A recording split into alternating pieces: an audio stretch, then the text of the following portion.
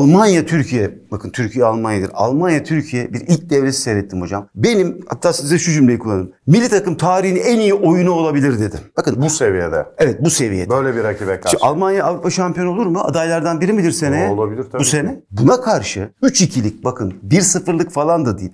Ve bu oyundan kazanılması, bu oyunun oynanması milli takımın hakikaten çok enteresan skorları, kazanımları, sonuçları oldu. Ben hatta içeride girdim. Ya dedim çocuklar ben milli takımın en iyi oyunu olduğunu düşünüyorum. Buna katılır mısınız, katılmaz mısınız? Hemen bana Fransa'yı 2-0 yendiğimiz maç geldi. Aradaki fark neydi hocam biliyor musun? Fransa'da bir planımız vardı. Fransa karşılanır. Fransa'nın gücü kabul edilmiş. Evet. Ve çok doğru bir planla 2-0 kazanılmış. Ama burada bakın bir planla değil. Almanyalı futbolculardan daha yetenekli çocuklarmış gibi oynayıp kazandılar. Tamamen beceriyle kazandılar. Bu benim için çok değerli hocam. Oyun olarak bu seviyede böyle bir oyununu görmedim ben Türk milli takımında.